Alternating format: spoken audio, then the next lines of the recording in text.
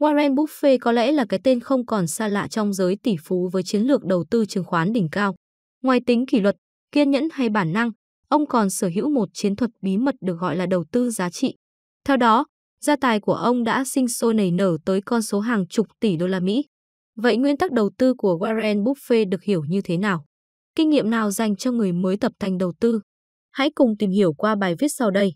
Warren Buffett là ai? Warren Buffett là tỷ phú, là nhà đầu tư chứng khoán huyền thoại, đứng đầu thế giới. Theo thống kê gần đây, gia tài của ông đã đạt đến con số kinh ngạc 86 tỷ đô la Mỹ. Hiện tỷ phú người Omaha đang giữ cương vị là chủ tịch kiêm giám đốc điều hành Berkshire Hathaway. Đây là công ty được sáp nhập từ 7 công ty nhỏ do ông quản lý khi mới 29 tuổi. Một vài thương vụ làm nên tên tuổi của Buffett, làm biến động cả thị trường lúc bấy giờ có thể kể đến như năm 1978, ông trở thành một trong những cổ đông lớn nhất của Salomon In với 12% cổ phần. Năm 1988, ông mua lại cổ phần của Coca-Cola, 7% cổ phần trị giá 1.02 tỷ đô la Mỹ. Năm 1976, quyết định mua lại 51% cổ phần của GEICO trị giá 45.7 tỷ đô la Mỹ. Chỉ một thời gian sau đó, giá trị này đã tăng gấp 100 lần so với thời điểm mua ban đầu. Năm 1986-2000, tiếp tục mua lại 18% cổ phần sau khi Capital City sáp nhập với ABC với số tiền 517.5 triệu đô. Giá trị khi bán ra là 3.8 tỷ đô, lợi nhuận tăng 600%. Ngoài việc đầu tư, Buffett còn trích một phần từ lợi nhuận kiếm được cho các hoạt động nhân đạo. Quỹ Bill và Melinda Gates được thành lập chiếm hơn 83% tài sản của ông. Các hoạt động thiện nguyện như chăm sóc sức khỏe, hỗ trợ thức ăn cho người nghèo, người vô gia cư cũng được đánh giá cao. Nguyên tắc đầu tư của Warren Buffett Warren Buffett được biết đến là người sống nguyên tắc, khắt khe với bản thân. Việc đầu tư tài chính cũng không phải là ngoại lệ.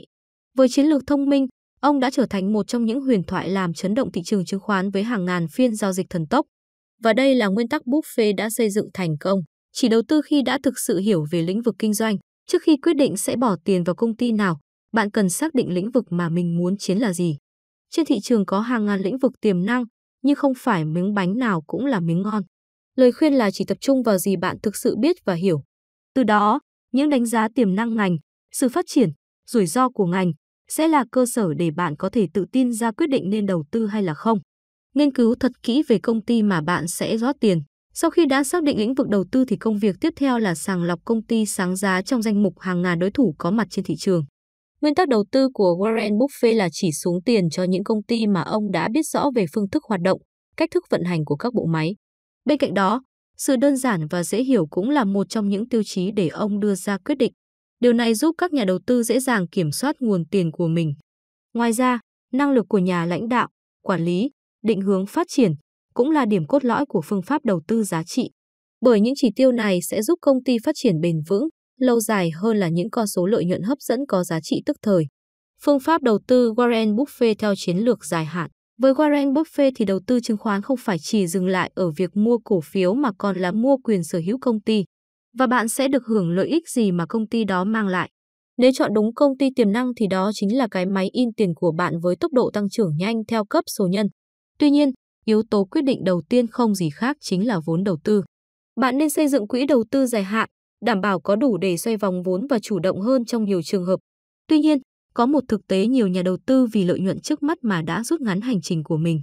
Khi giá cổ phiếu có xu hướng tăng mạnh, vượt mức mua vào, họ đã nhanh chóng bán vội để thu lợi nhuận. Điều này khiến nhiều nhà đầu tư rơi vào trạng thái bị động và không còn linh hoạt khi muốn đầu tư dài hạn nữa. Có khả năng nghiên cứu, đánh giá và phân tích các chỉ số tài chính. Đây là yếu tố đặc biệt quan trọng của mỗi thương vụ làm ăn. Nếu không có kiến thức về các con số thì bạn sẽ không biết cách làm thế nào để tiền của mình tăng trưởng nhanh hơn nữa. Đồng thời, bạn cũng sẽ không biết nguyên nhân vì sao tiền của mình không cánh mà bay. Việc hiểu các chỉ số tài chính giúp nhà đầu tư kiểm soát được nguồn vốn hiệu quả và tối ưu hơn. Còn đối với Warren Buffett thì sao? Theo chia sẻ, để tạo nên thương hiệu thành công như ngày hôm nay, ông đã dành phần lớn thời gian để nghiên cứu hàng trăm báo cáo tài chính từ các công ty khác nhau. Đây chính là sự khác biệt của những đầu tư tài ba. Các chỉ số cần chú trọng bao gồm tốc độ tăng trưởng, tìm hiểu tốc độ tăng trưởng ở thời điểm hiện tại, so sánh với quá khứ trước đó.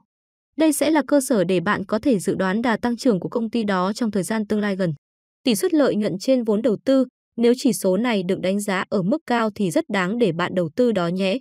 Tỷ số nợ trên vốn, lợi nhuận trên nợ, bạn cũng cần tìm hiểu công ty có đang gánh khoản nợ nào không, liệu họ có khả năng trả nợ khi đến hạn hay không. Tái đầu tư, ngoài việc mang về khoản lợi nhuận khổng lồ với tỷ suất cao thì công ty có ý định tái đầu tư phần lợi nhuận đó hay không. Đây cũng là một trong những tiêu chí được tỷ phú người Omaha đặt lên bàn cân.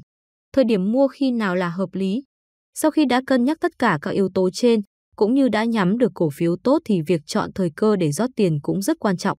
Nếu bỏ lỡ thời gian vàng chắc chắn bạn sẽ mất cơ hội kiếm tiền. Vậy đâu là thời gian lý tưởng cho các nhà đầu tư? Warren Buffett chọn chờ khi thị trường bước vào giai đoạn điều chỉnh, có xu hướng đi xuống thì mới quyết định mua. Lúc này, tâm lý sợ hãi sẽ ảnh hưởng đến giá cổ phiếu. Điều quan trọng là nhà đầu tư phải biết đâu là loại cổ phiếu có thị giá thấp hơn giá trị nội tại. Chiến lược đầu tư giá trị chiến lược dành cho những loại cổ phiếu chất lượng tốt, giá hời. Những nguyên tắc đầu tư giá trị nhất của Buffett nhà đầu tư cần biết. Đầu tư giá trị nhưng vẫn phải có tiền mặt trong tay. Ngoài cổ phiếu và trái phiếu, đôi khi bạn cũng có thể bất ngờ gặp được những loại cổ phiếu riêng lẻ với giá hời. Nếu có tiền trong tay bạn có thể sở hữu chúng ngay lập tức. Đồng thời việc dự trữ tiền mặt giúp bạn sống sót khi thị trường biến động hay những trường hợp khẩn cấp. Mặc dù hình thức thanh toán online hiện đang khá phổ biến nhưng tiền mặt vẫn là hình thức thanh toán hợp pháp. Tạo dựng thói quen và phong cách kỷ luật, đầu tư là cả một quá trình dài hạn và chắc chắn sẽ có lúc bạn thấy mệt mỏi vì những thất bại.